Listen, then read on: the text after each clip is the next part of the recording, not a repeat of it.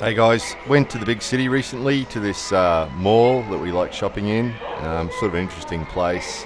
It's sort of like originally it was outside, I guess, and then they paved it and put a roof over the top of it.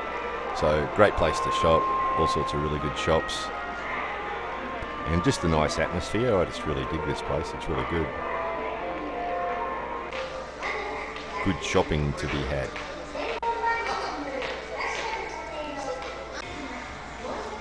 Lots of shiny, puffy jackets for those who are into them as well.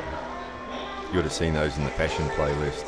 But yeah, bicycles riding through the middle was pretty freaky. It was like, it seemed really weird. All of a sudden, a bicycle would appear and come through the people past us. But then, this guy, check him out.